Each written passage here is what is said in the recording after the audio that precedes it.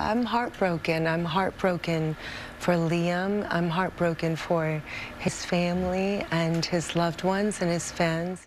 Nicole Scherzinger is ready to remember Liam Payne out loud.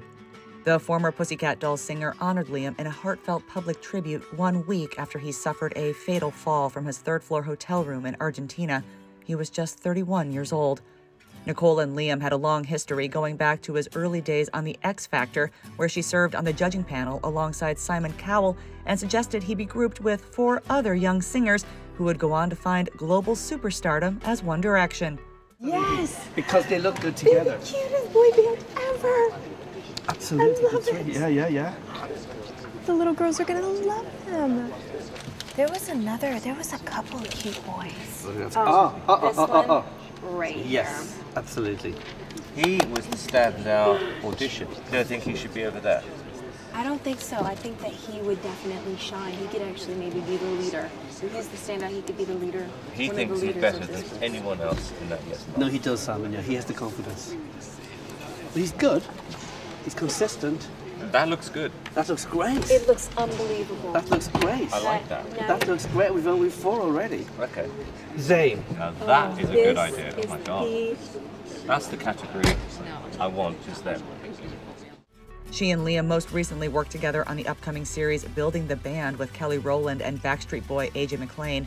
And Nicole reflected on how she'll continue keeping their personal and professional bond close to her heart, writing on Instagram, I will forever cherish and treasure the time we shared together from 15 years ago when One Direction was born, right up until just a few weeks ago. It was such a blessing to get to work with you recently. We shared the same love and passion for music, and I will forever remember the meaningful and joyful conversations we had. It's been so hard to process that you're no longer here, but I am grateful to have known your kind heart, sweet soul, and character. You brought so much joy, light, and laughter to the lives of those that truly knew you. I will miss you, my friend, and carry you in my heart. My thoughts and prayers are with your family. Nicole also opened up about the tragic loss on Good Morning America and touched upon the legacy Liam leaves behind, echoing his own resurfaced comments that he most wanted to be remembered as a good person.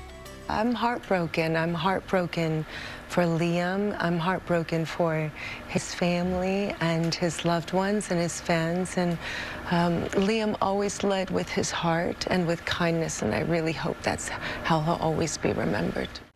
Nicole is currently performing on Broadway's Sunset Boulevard, and composer Andrew Lloyd Webber told Billboard that the singer had been texting with Liam the day he died and went on to perform shortly after hearing the shocking news of his passing, saying in part, She'd just heard that he died, and the fact that she even did the show at all is extraordinary.